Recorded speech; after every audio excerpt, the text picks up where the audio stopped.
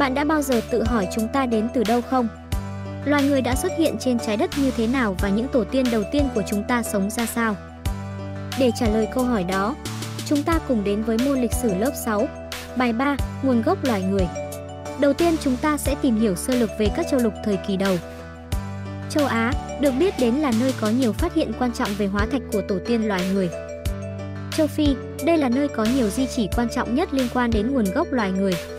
Một số mẫu hóa thạch sớm nhất của tổ tiên chúng ta được tìm thấy ở đây. Châu Âu, nơi các tổ tiên loài người phát triển và lan rộng ra các khu vực khác. Châu Mỹ và châu Đại Dương, các khu vực này chủ yếu được định cư sau khi loài người đã phát triển và di cư từ châu Á và châu Âu. Tiếp theo là sự tiến hóa của loài người. Đây là hình ảnh so sánh bộ xương của con người qua các thời kỳ.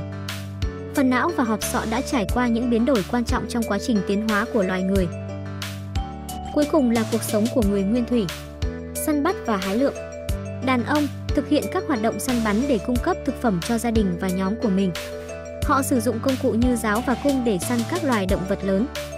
Đàn bà chủ yếu thực hiện việc hái lượm các loại quả, củ và thảo mộc. Họ cũng tham gia vào việc chăm sóc trẻ nhỏ và duy trì sự sống của nhóm. Đừng quên nhấn like và đăng ký kênh để không bỏ lỡ các bài học tiếp theo.